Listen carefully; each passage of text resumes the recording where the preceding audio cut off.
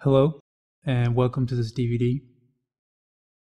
And in this video we start in 3D Max, we create the high res, take in the Mudbox, uh, render out um, ambient occlusions and normal maps out of Max, and then we texture it all in Photoshop. And the final result will be inside Unreal Editor 3. So the final product you can see here, uh, I tried to make it to where you can see all of the details really close. Like in a first person shooter, if you have to get really close to it, you can see it holds up pretty well. And I'll go over how to tint the paint so you can get different variations on the same textures. And this can be good uh, to break it up in the in the game. This is an asset that I personally ended up using a whole lot on uh, in production in a couple games. Uh, these broken up rubble pieces can be used over and over in different ways and can be very valuable. That's why I chose it for this DVD because it's so uh, versatile in all kinds of different games with minor tweaks.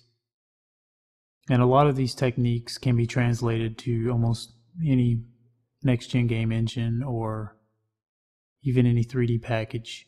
I kept everything uh, fairly straight to the point, and I didn't use a lot of scripts or uh, special uh, proprietary techniques.